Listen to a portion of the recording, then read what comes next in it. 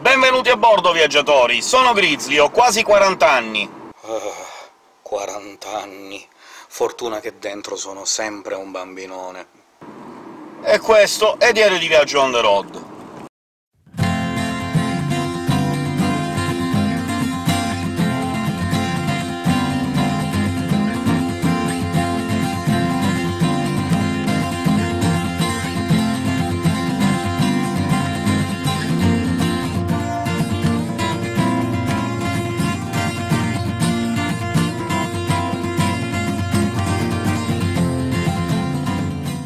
In questi giorni ho deciso di dare un'occhiata ai primi video fatti dagli youtuber che seguo da più tempo, così per vedere un po' qual è stata l'evoluzione, per vedere un po' qual è stato il passato, eccetera. E mi sono imbattuto quindi in un video di Matthew Santoro, che ho trovato veramente molto simpatico, questo video è sette cose che potrò raccontare ai miei nipoti, e ve lo lascio tra l'altro linkato sul doobly-doo e sulla scheda, così potete andare a dargli un'occhiata. Questo video è stato per me in qualche modo anche ispirante, tanto che ho deciso di pubblicare questo vlog un po' come se fosse una specie di video risposta al video di Matthew. I miei nonni non ci sono più, e quindi il video di Matthew è stato particolarmente ispirante, perché appunto mi ha fatto pensare che un giorno anche io sarò un nonno, anche io racconterò ai miei nipotini come si viveva ai miei tempi. Anzi, vista la mia età e visto che moltissime cose le facevo praticamente più di 30 anni fa, in realtà posso già raccontarle a molte delle persone che guardano il mio canale, che so essere più giovani di me. Comunque, cominciamo! Eccovi le sette cose che potrò raccontare ai miei nipoti un giorno, perché in fondo io sono nato e cresciuto in quella che è stata la cultura analogica, quindi ho avuto tutto analogico, ho avuto la tv analogica, la radio analogica, ma mm, lasciamo perdere un po' la nostalgia e cominciamo. Numero 1. Sono più vecchio di tutta la tecnologia che ci circonda in questo momento e della quale non riusciamo a fare a meno. Quando ero piccolo non c'era la telefonia mobile, è arrivata in Italia nel 1990 la tecnologia TAX. Quando ero piccolo, quando andavo a scuola, dovevamo fare delle ricerche, non c'era internet, dovevamo consultare i volumi dell'enciclopedia, magari c'era da andare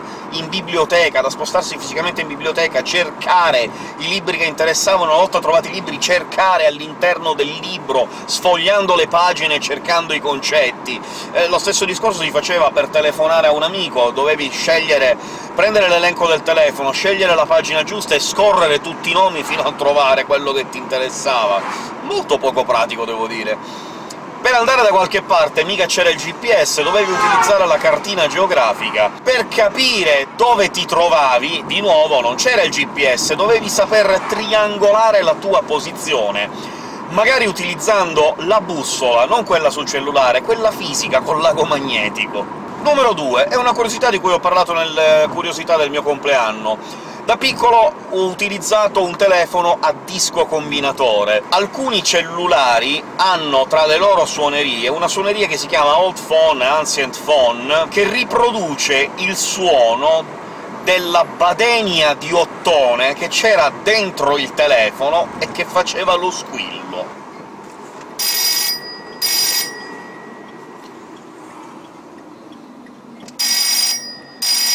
Numero 3.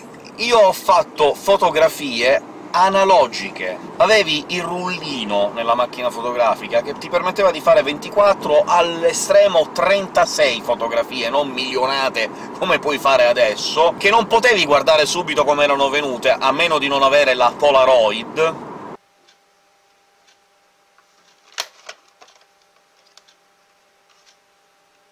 e che non potevi cancellare, una volta fatte te restavano, e una volta fatte le fotografie dovevi portare il rullino a sviluppare. E non solo, io ho sviluppato rullini in bianco e nero, sì, c'erano i rullini per fotografare in bianco e nero.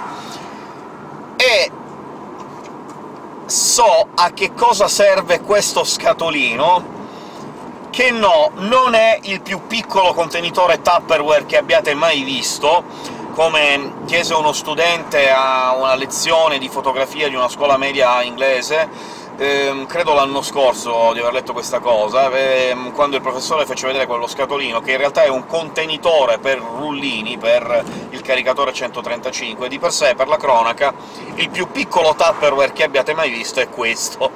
Almeno spero, che è una, una delle sorpresine delle merendine del mulino bianco che c'erano negli anni '80. Adesso si trovano dentro l'Happy Mill le sorprese, ma una volta erano lì. Numero 4. Ho giocato a videogame con i pixeloni, ma non perché era di moda, bensì perché era quella la tecnologia.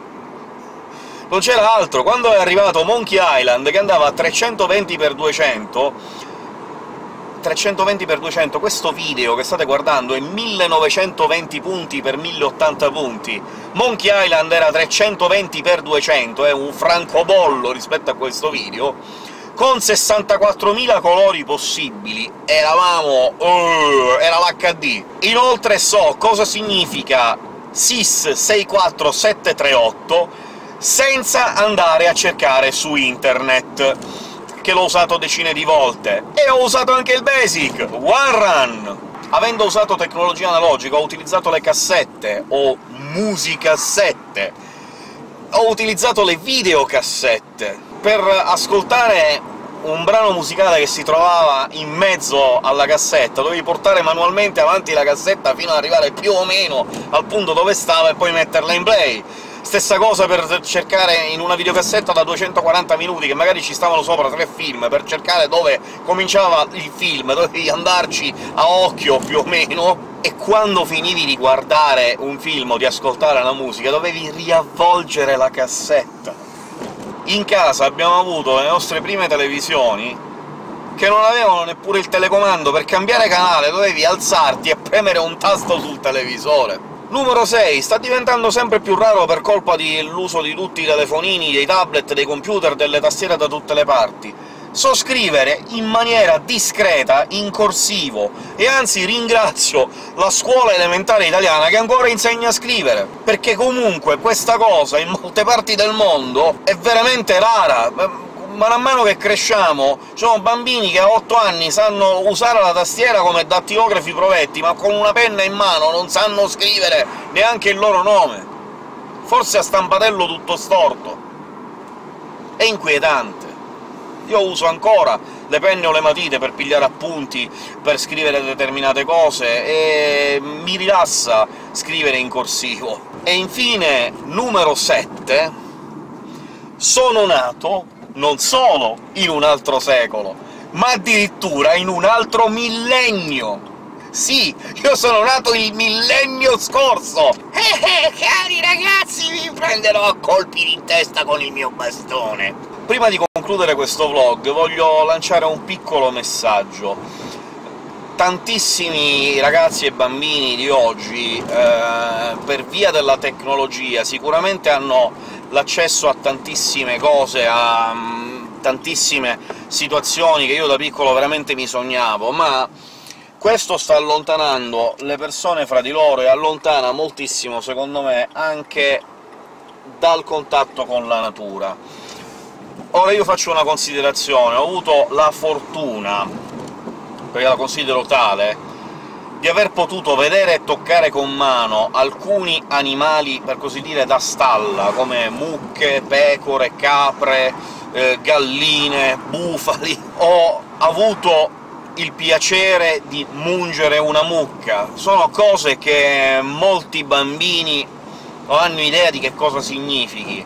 Quindi io vi invito una volta ogni tanto, magari una volta al mese, potrebbe essere molto utile, soprattutto se avete dei bambini, una volta ogni tanto a staccare completamente dalla tecnologia, a fare una passeggiata, andare in campagna, lontani dai computer, a vedere gli animali della stalla, a vedere come si produce il latte, come si producono le uova, a vedere che il latte che bevete la mattina a colazione, voi, io sono intollerante, non è prodotto in uno stabilimento mescolando insieme qualche sostanza chimica, a vedere che le uova non sono fatte da una macchina, a scoprire che c'è un mondo lì fuori che vi aspetta. Penso che sia una cosa molto importante, quindi concludo questo vlog qui senza una domanda, solo per sapere se vi ho strappato un sorriso, o se ci sono delle cose che pensate che vi abbia detto che non avete conosciuto, se siete magari più o meno miei coetanei, e vi ricordate le cose che vi ho ricordato anche io, no? Quindi, come sempre, se volete lasciate un commento qua sotto, oppure su Twitter con l'hashtag di TVOTR.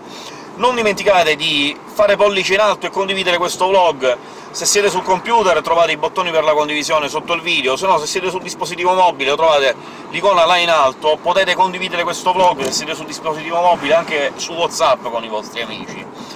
Vi ricordo, se non l'avete già fatto, di iscrivervi al mio canale, è gratuito, vi farà subito assumere quel buon profumo di nuovo iscritto, che non somiglia all'odore della stalla, per fortuna, e soprattutto, e se non lo sapete cos'è l'odore di una stalla, andate a vedere che, che odore fa una stalla, cavoli! E soprattutto, se vi iscrivete, potreste anche ricevere una notifica ogni volta che pubblico un nuovo video. Bene ragazzi, sono Grizzly, ho concluso, quindi, come sempre, Grazie per essere arrivati sino in fondo a questo vlog, ciao a tutti e ci vediamo alla prossima!